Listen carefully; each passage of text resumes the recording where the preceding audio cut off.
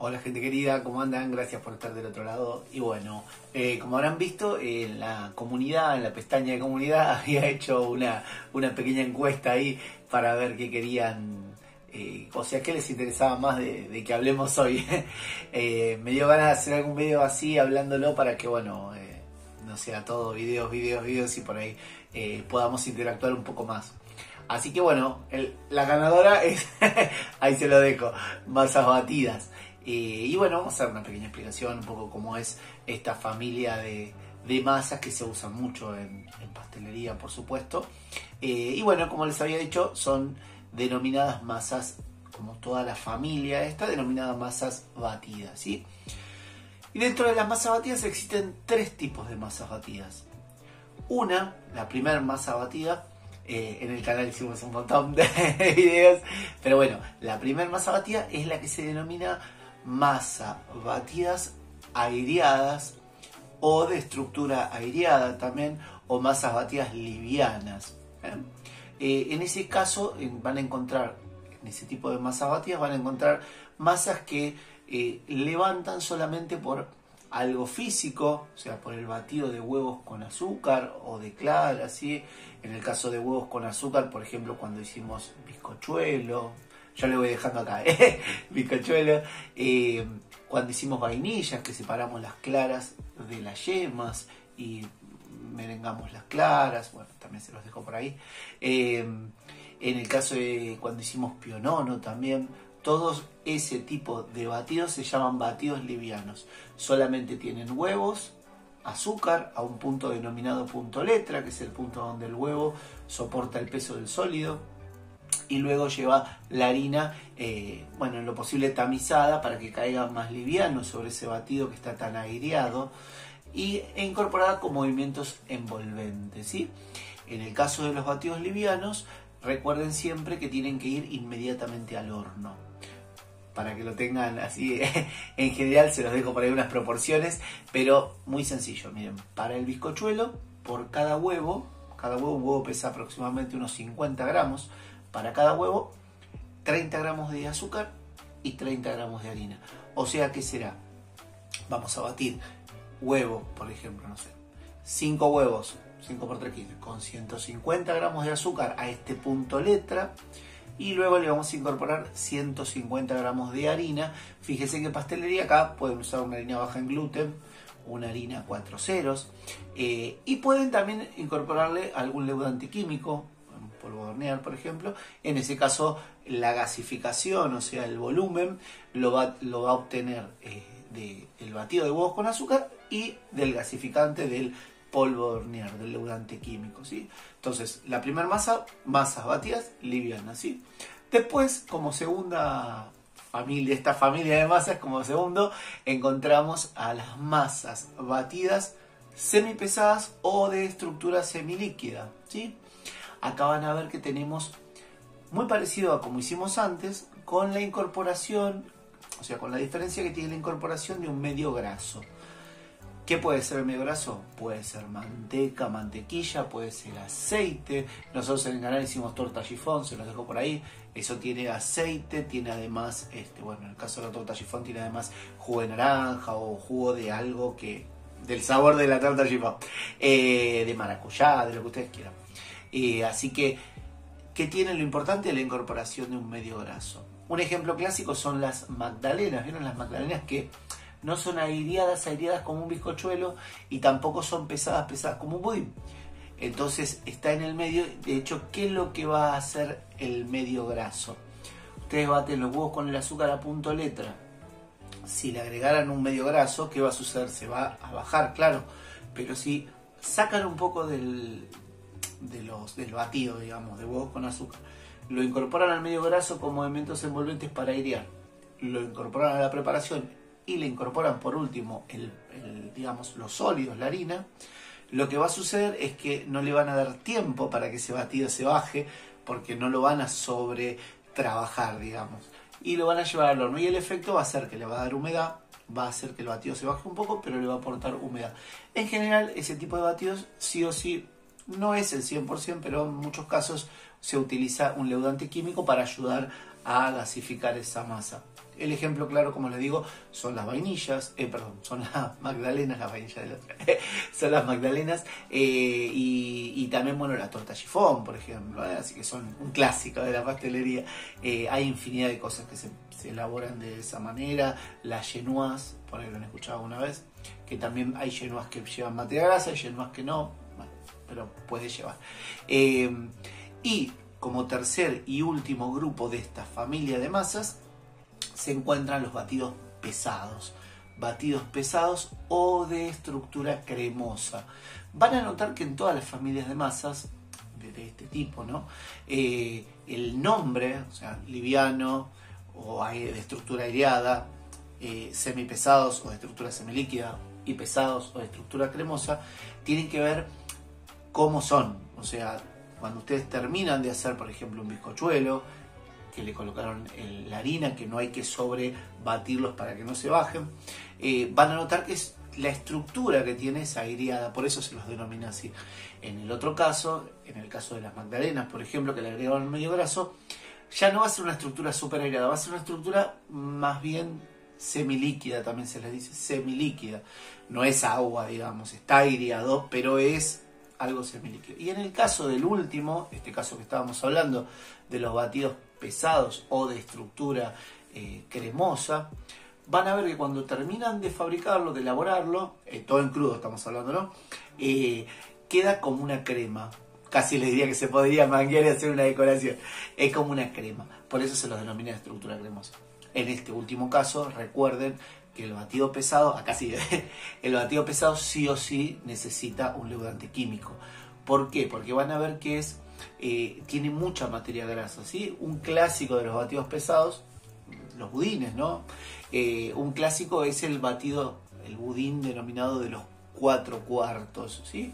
En ese caso van a tener un cuarto de materia grasa, por ejemplo, 250 de mantequilla o de margarina, un cuarto de azúcar, o sea, 250, 250, un cuarto de, eh, de, líquidos, que en general son huevos, pero van a ver que se puede, ahora, ahora lo hablamos un poquito, se puede desproporcionar un poco eso, un cuarto de huevos, y un cuarto de harina, en este caso harina 4 ceros o harina leudante.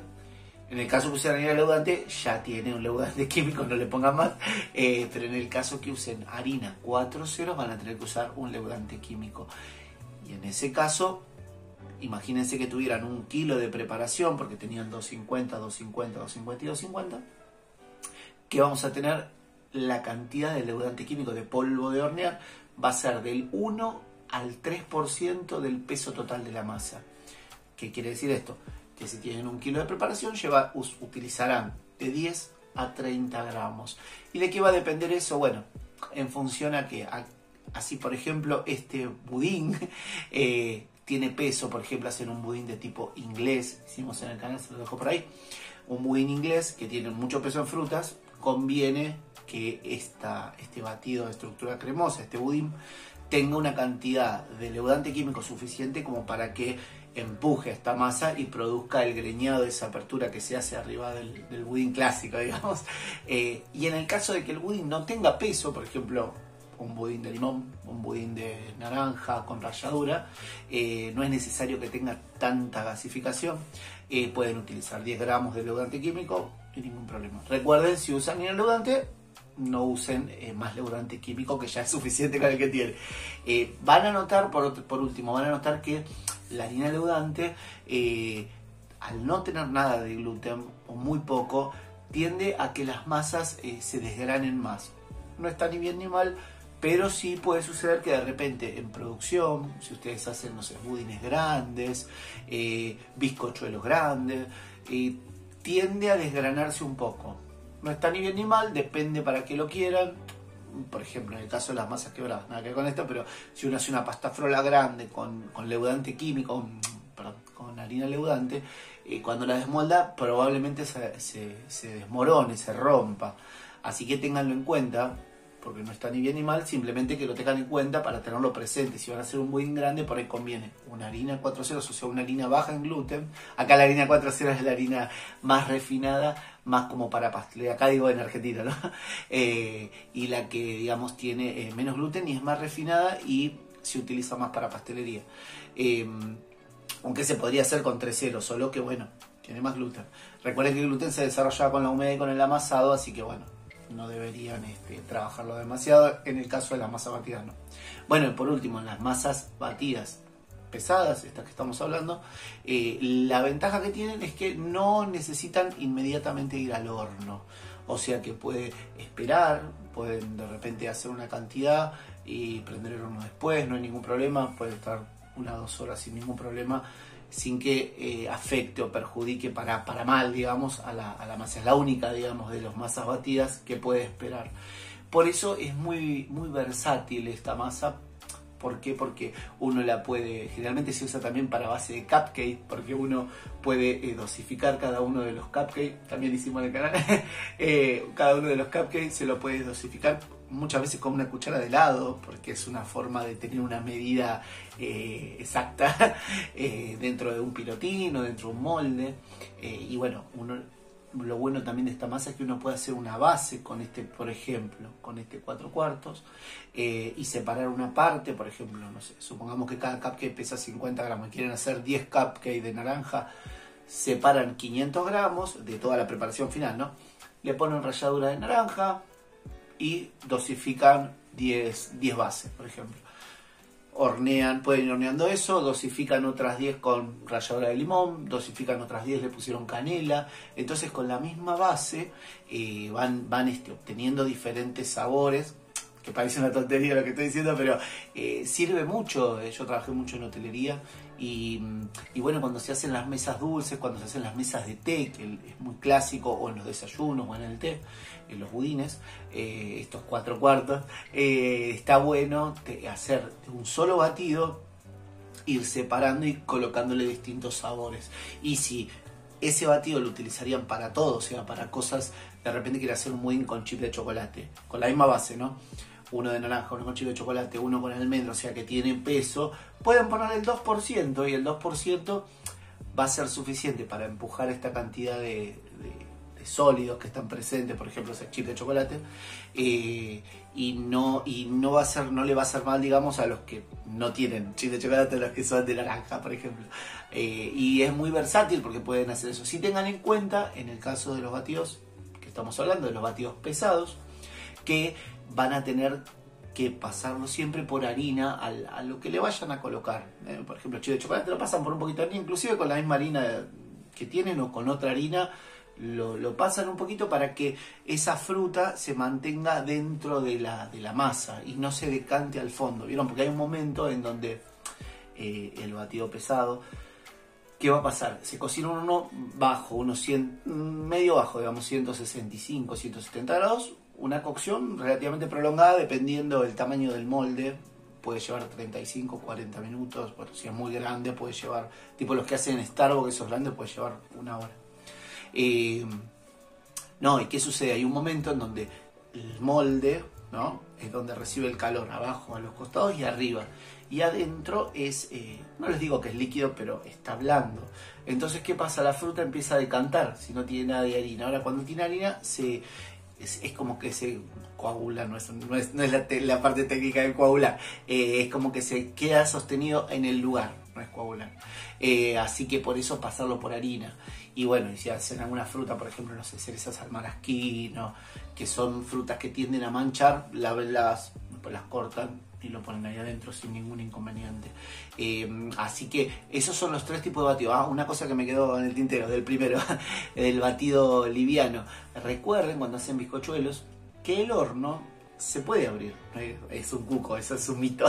no, no, se puede abrir el horno. El tema es no golpearlo, o sea, cuando lo cierran con mucho cuidado, que no entre un golpe de aire y que no lo golpeen. Porque parecido a lo que pasa con los batidos pesados, eh, hay un momento en donde el bizcochuelo recibe calor arriba, a los costados y abajo, donde está el molde. Y adentro es todo aire. Si uno lo golpea en ese momento, cuando pasaron, no sé, 10 minutos de cocción, que todavía le faltan por ahí 25, 30, eh, la parte de arriba, que es sólida, digamos, eh, tiende a hacer decantar la parte de abajo, o sea, la parte del medio, que es todo aire. Ese es el tema. De hecho, en, panaderías, si alguno eh, trabaja, se va, se va a dar cuenta y me va a decir, sí, sí, te da razón. Eh, en panaderías, eh, a veces con los hornos de tipo pastelero, que, el calor viene de abajo hacia arriba, se cocina con el horno medio abierto, el, bizcochuelo, o sea, con, algo que trabe, que el horno, porque si no es demasiada la temperatura. Es un, el horno, bizcochuelo se cocina en un horno de unos 180 grados. Así que les dejo esos consejos por la duda.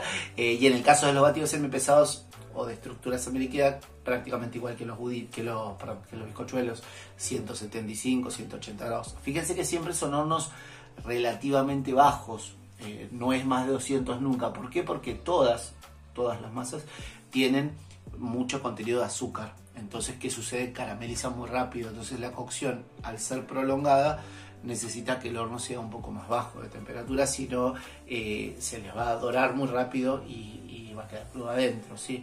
Así que eso tenganlo muy en cuenta siempre para todo tipo de masas batidas, ¿sí? Ese es el, todo el grupo de masas batidas. Después hay infinidad de, mezclas, de, cosas que uno puede hacer con este tipo. Puede hacer, como les decía, de bizcochos, bases, eh, cupcake, lo que ustedes deseen, con el mismo cuatro cuartos sin desproporcionar mucho la receta, por ejemplo, en vez de poner 250 gramos de huevos, pueden poner 100 eh, de huevos, 100 de miel y, 50 eh, de, leche, por ejemplo, y van a tener un, budín un poco más húmedo. Eh, hay un montón de, fórmulas formulando, digamos, manteniendo más o menos esa estructura del cuatro cuartos para que se esa estructura lo que sirve en pastelería es muy importante, pesar todo primero, pero después eh, tener bien las proporciones. Entonces, esa estructura que hace proporciona. Entonces, esa proporción permite que a nivel técnico el resultado sea, sea bueno. Si uno le pone, no sé, en vez de poner 250 de huevo, le pone 700 de huevo, va a ser demasiado líquido y se va a bajar. Entonces, por eso. Lo mismo pasa con los bizcochuelos. Si uno en vez de ponerle por cada huevo 30 de azúcar y 30 de harina, le pusiese, no sé, 150 gramos de harina y bueno, se va a bajar. O le pusiese demasiado huevo, va a quedar muy inflado y poco estructurado. Entonces, por eso en pastelería es muy importante no solo pesar, sino mantener esas estructuras, ¿sí? Eh, en el caso, perdón, por último, en el caso del bizcochuelo, en el caso de, del pionono, era, ¿se acuerdan? Por cada huevo, 10 gramos de azúcar y 10 gramos de harina. Y en el caso del arrollado, por cada huevo 20 de azúcar y 20 de harina. En el caso del pionono tiene un poco de miel para darle elasticidad. Así que bueno, ahí les dejo todo el grupo de, familia de estas masas que como les digo son súper útiles y no dejen de hacerlas. Eh, son muy económicas y sirve para todo. Imagínense, el pionono puede servir para dulce, para salado, el bizcochuelo para hacer una torta, las vainillas, el tiramisú, un clásico. Hace poquito hicimos vainilla en el canal. Eh, y con los budines, nada, un montón. Recuerden que todas estas masas también, una vez que están cocidas, se pueden frizar sin ningún inconveniente entre 3, 4 meses sin ningún problema. Budines, bizcochuelos, siempre traten de avanzar sobre eso. Eso se denomina bases, ¿no? Entonces uno, eh, antes de tener un evento, todo uno puede tener esas bases ya frisadas. Inclusive el bizcochuelo ya se lo puede tener cortado o cocido en distintas bases o cocido en placa para que uno después lo corte y pueda armar eh, tortas este, cuadradas o rectangulares para uno después cortarlo como en porciones. ¿sí? Hemos hecho en el canal también porciones, se lo dejo por ahí. Así que bueno, espero que, espero que les haya gustado este video, que les haya hecho muy largo. Eh, pero bueno, es para que tengan un poco presente todo ese tipo de masas y lo útiles que son. Así que como siempre les digo, si les gustó este video, suscríbanse al canal y bueno, déjenme en los comentarios si quieren hacer alguna otra cosa, si tienen alguna duda sobre este tema o sobre otros, no hay ningún problema. Y nosotros nos vemos en un próximo video. Les dejo saludos, gracias, chau chau.